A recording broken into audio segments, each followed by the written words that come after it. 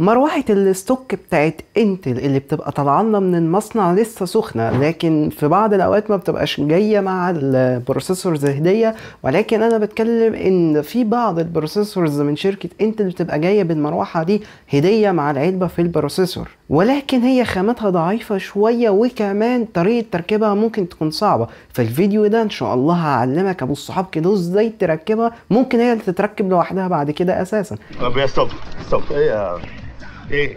فمن غير اي تاخير خلينا ندخل في الحلقة.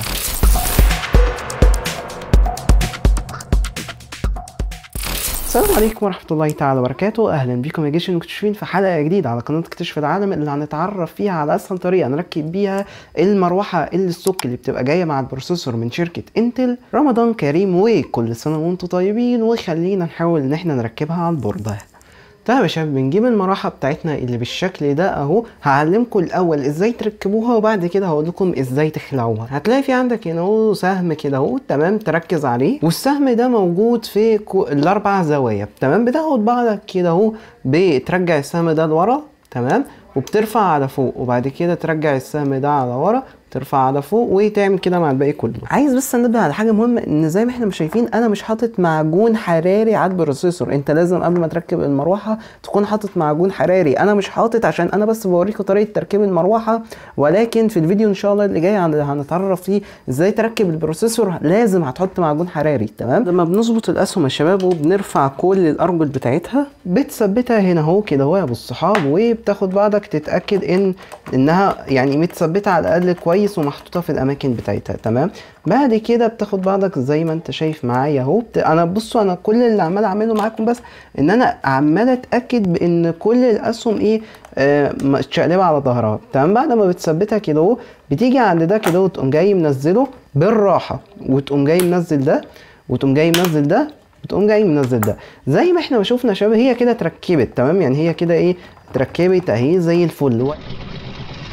يا رب. ولكن ولكن خد بعضك إنك تقفلها بنفس الطريقة اللي أنا عملتها يعني ده بعد كده ده بعد كده ده بعد كده ده عشان تتقفل معاك مظبوط.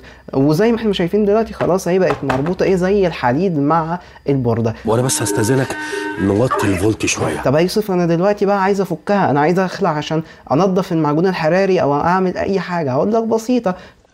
مش محتاجة حاجة يعني. كل المطلوب منك إنك تعمل هي حاجة واحدة بس. تلف السهم ده تمام؟ بعد كده تلف السهم ده وبعد كده تلف السهم ده بالشكل ده أهو بنفس الطريقة. وبعد كده تقوم جاي رافع على فوق ترفع على فوق بالشكل ده أهو ترفع على فوق وهتلاقيها اتفكت معاك. ولكن هل كده يوسف هي هتبقى اشتغلت؟ خلاص هقول لك لا. الله يا عم يوسف هتحيرنا ليه يا عم؟ هقول لك لا انت كده هتكون ربطتها لكن عشان تشتغل لازم بتوصل لها باور. الله إيه يا يوسف ال power ده؟ بتلاقي في socket هنا اسمه CPU fan بعد ما بتركب المروحة وبتثبتها كويس بتاخد بعضك وتركب المروحة هنا كده بالشكل ده وهكذا انت تكون ركبت المروحة بتاعتك ككهرباء وكتركيب ذات نفسها على البروسيسور.